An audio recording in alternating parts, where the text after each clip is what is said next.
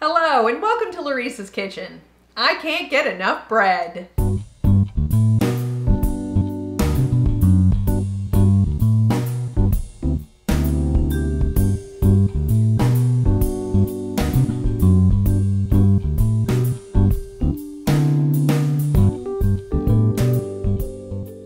Today I'm tackling the holy grail of bread bakers, the baguette.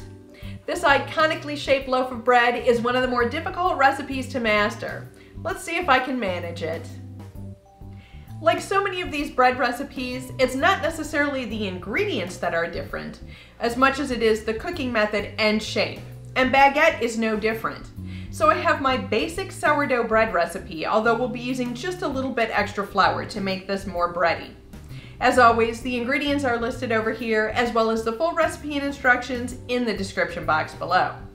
Let's put this baguette dough together. Okay, we're starting with a cup of active starter, but we need to stir it down because it can't have all the bubbles in it.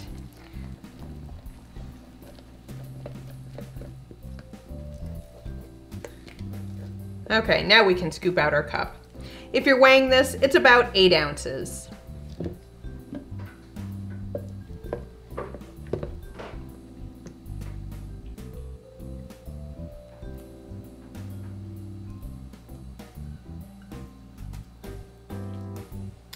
If you're not completely convinced that your starter will raise a whole loaf of dough, you can add in yeast. That's one packet or about a tablespoon. I also have one and a quarter cups of water with one tablespoon of sugar dissolved in it. And this water is just room temperature. Just keep it running. I also have two full teaspoons of salt. I'm gonna whisk this together first.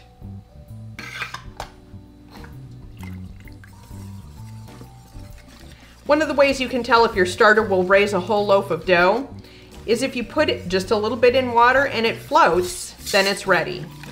If it doesn't float, you'll need to add yeast.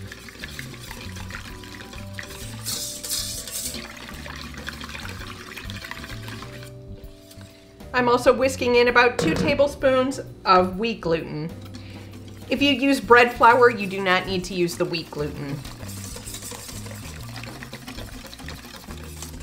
For the flour, we're adding in between three and a half and four cups of flour. And again, I fluff and scoop rather than sifting. And my cups are about 140 grams.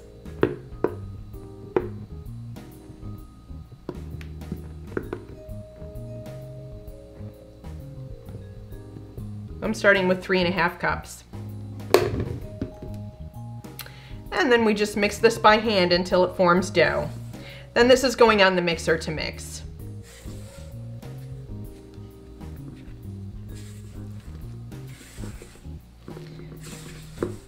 So I know this looks much drier. Trust me, it'll be fine.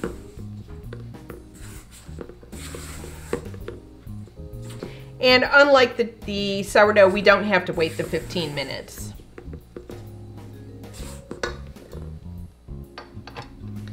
We'll be kneading this on low for probably five to six minutes. It should form a ball.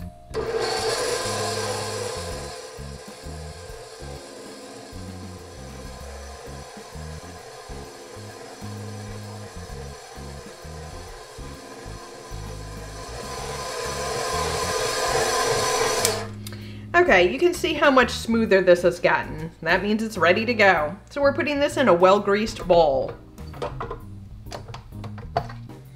And this is still plenty sticky, so I do need to scoop it in here.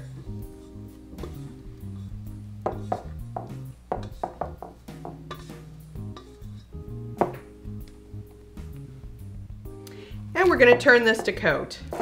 You can see how sticky it is. We don't want the top drying out while this rises. Like the sourdough, we're gonna let this rise twice.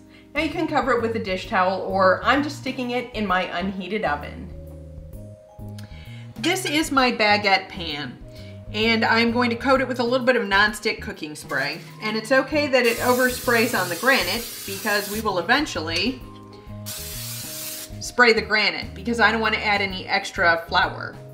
We need to set this aside while we work on the dough. Okay, this is my baguette dough after its second rise. Now, this is my granite. I don't want to add any extra flour to this dough, so that's why I sprayed the nonstick cooking spray, and it's okay that it's on here. I'm using my dough scraper. We need to divide this into three even uh, dough amounts. Okay, this one's pretty small, so I'm gonna take a little bit from here. Okay, and now we just need to roll these into our baguette shapes. So we're just gonna roll.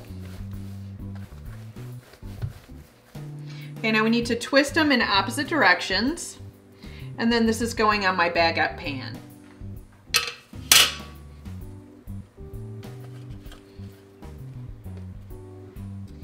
While we let these rise for about 20 minutes, I have the oven preheated to 450 degrees. I also have a small cast iron skillet in there. We'll be adding boiling water to the oven. We'll be spritzing these baguette with water, and yes, this is my orchid spritzer. We'll also need a cup of boiling water. This is gonna go in the microwave about three minutes before these are ready to go in the oven. And last but not least, we're gonna need to slash these, and I have a new toy. Yes, it's a straight razor. We named it Sweeney Todd. We want to spritz everywhere on here. This makes the crust nice and chewy. And we need to slash these. Now we want to go just ever so slightly opposite of the way they're twisted, but mostly straight down. This is why you need something very sharp.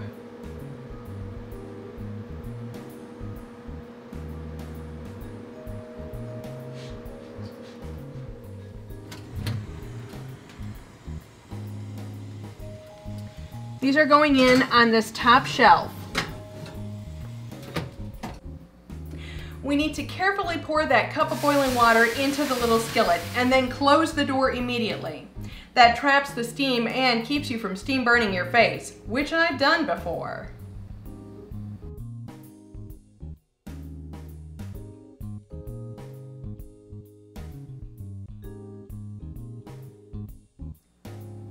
Using this baguette pan does give the bottom of these baguettes their classic stippled look. Of course, you could do this without using a baguette pan, but it does help to retain the shape and give it its nice brown color. Now, if your baguette are not browning up, do not be afraid to bump your oven up to 475 degrees. Bread is better slightly overdone than underdone. Let's give these a taste.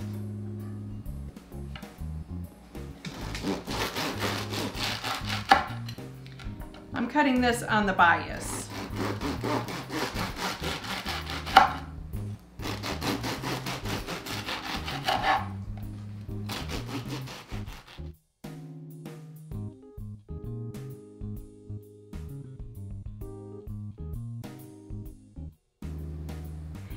I have my baguette topped with hot artichoke heart dip. If you'd like to see how I made that, the link is at the end of this video. I know this is good. It smells spectacular. Mmm.